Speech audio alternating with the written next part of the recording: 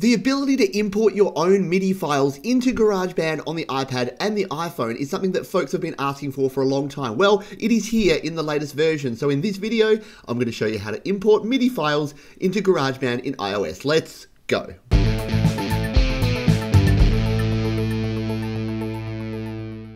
Hi, my name is Pete. This is Studio Live today, where I help you create, record, and release your best music. And now, if you've been creating music for a while, you're probably aware of MIDI, which stands for Musical Instrument Digital Interface. And MIDI is a standard that's been around for a really long time, uh, probably 30 plus years. But what it allows you to do is actually program different patterns in using MIDI data. So you can program in the note, the velocity of the note, and a bunch of other information about the instrument that's playing that that note. And you can create a MIDI file. Now, MIDI files have been around again for a long time, but GarageBand here in iOS has never been able to actually import MIDI. It still can't export MIDI, so apologies if you're looking for that ability, but you can now import your MIDI files. So in this video, I'm going to show you how we can download and import a MIDI file into our projects here in GarageBand. Here we are in GarageBand, we've got a blank project ready to go and we are ready to import a MIDI file. Now, before we jump in and do this, a MIDI file can be a single track with a single instrument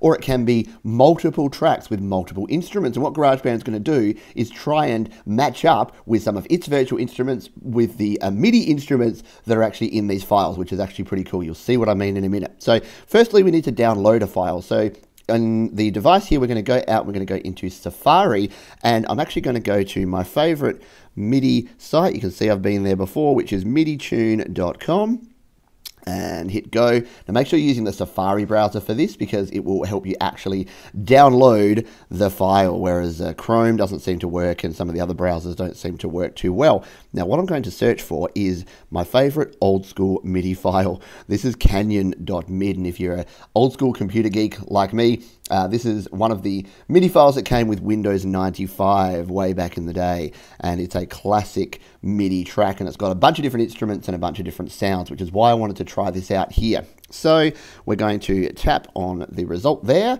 I'm hoping this is uh, one that's going to be the right version.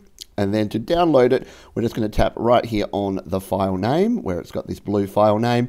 Now it's gone to the download. What we need to do now is tap on the more button down the bottom here, and now we can save it to our files. So let's tap Save to Files.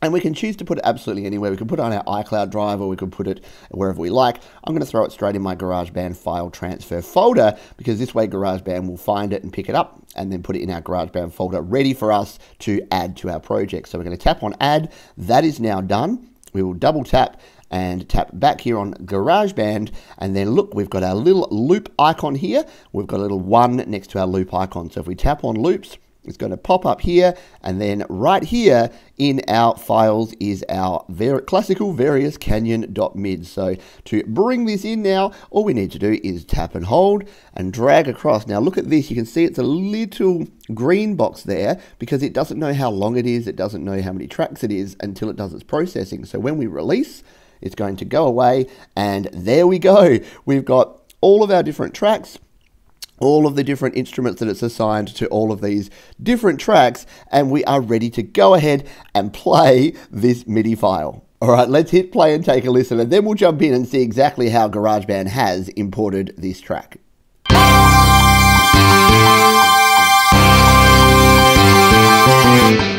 So there you go. I won't play too much of that. I'm not actually sure if that's a copyrighted tune or not, but I don't want to get a copyright strike all the same. So let's uh, bring this out here now and you can see here first thing you might notice is that the volumes have been set using automation so instead of having the sliders here that we can adjust we can't actually adjust those sliders they are set but if we do want to adjust those we can tap tap again go to automation and you can see there that we can adjust the automation volume by sliding that the whole line up or down like so, or we can create our own automation points. And as always, I've got videos all about using automation in GarageBand, which I will link in the description as well. Um, so that is how it sets up there. Now you'll notice the instruments, it's just brought in various different instruments. So we've got the raw lead, we've got our classic clean guitar, we've got our classical grand, uh, we have our P bass, we have our hard rock guitar, glockenspiel, our SoCal drum kit, our choir and then uh, some piano tracks to finish things off. And we can treat this now like we would any other sort of uh, uh, GarageBand track. We can just solo particular tracks. we can mute, we can play whatever we want to do. In here, we can edit these now. So these are completely editable MIDI tracks. We can tap, tap again, go to edit, and we can come in here and actually edit the MIDI note data if I can find it. It's all the way up here. So you can come in here, you can change around all of the MIDI note information. So it's a pretty cool, you can even then come in here and do your panning. In fact, these are already panned. So you can see here, it's actually got some stereo panning information on some of these instruments. The other cool thing about MIDI is you can see here that the MIDI drums, and uh, I could probably do another whole video about MIDI drum loops because they're a thing unto themselves. But if we just solo just these drums, listen to how cool this drum beat is.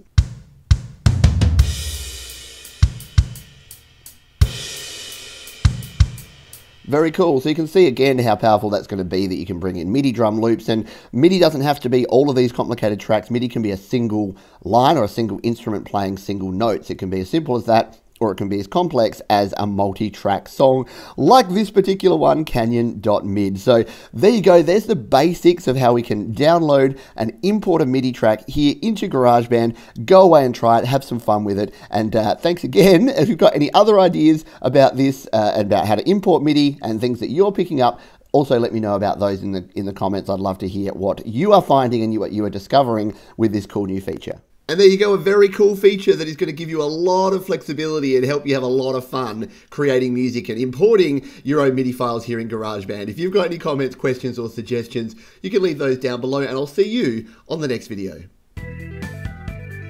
Hey, thanks for sticking around. If you would like to check out some other videos all about creating in GarageBand, we've got two more linked down below. You can also subscribe to the channel by clicking on the Studio Live Today icon in the top right corner or head on over to studiolivetoday.com for more audio goodness.